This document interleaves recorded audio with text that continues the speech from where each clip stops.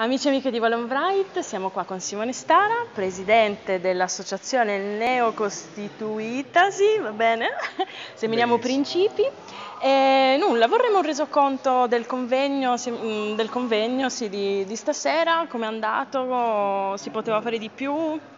Si può sempre fare di più nella vita, però possiamo dire che come prima esperienza, visto che in Piemonte è il primo convegno di questo tipo che viene organizzato da da più associazioni, perché la differenza, a differenza degli altri, appunto, scusate il gioco di parole, è proprio il fatto che più associazioni si siano unite e si vogliano unire sotto un'unica federazione per far valere appunto il diritto alla salute citato nella Costituzione italiana nell'articolo 32.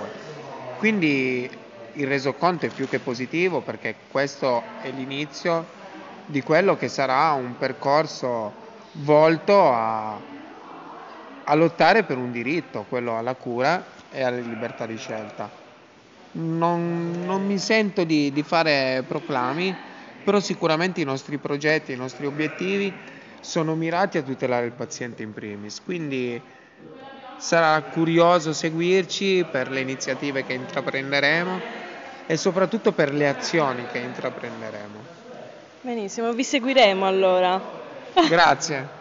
Grazie, Grazie a, a te. Tutti.